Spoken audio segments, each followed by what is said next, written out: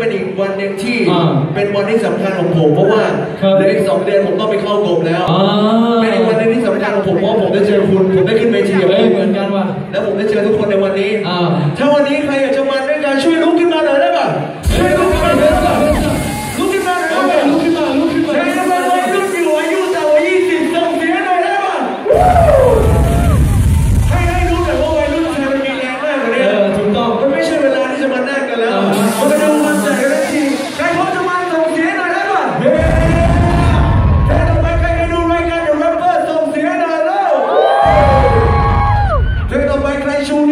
Pernambuco, é